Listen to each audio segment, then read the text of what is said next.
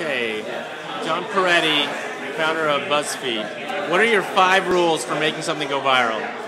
How, how much time do I have? 30 seconds, go. 30 seconds, five rules.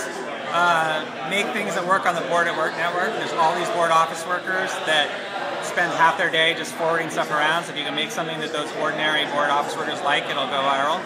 Um, use the mullet strategy where you put the business up front and the party in the back. So put, you know, if you're managing a site or a blog, put the serious stuff up there, but also have like the popcorn and the fun kind of hiding behind.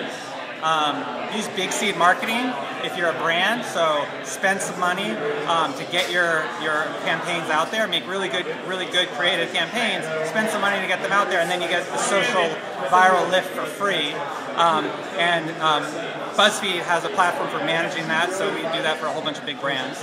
Um, work, um, target your stuff toward maniacs because crazy people run the web. So people like Mike Arrington or Perez Hilton or Lady Gaga or Kanye, you know, they're people who aren't like just sitting back on their couch passively watching TV. They're the kind of people who see stuff and pass it around and get in fights and get in arguments and stir stuff up. So those are the people you want to reach um, on the web. And uh, I forget Mormons. one. Oh, Mormons. So I, I have to like get a graph here to like add to this video. I'll, send it to you. But um, you know, if you look at um, which is better, Mormons or Judaism, Mormonism or Judaism.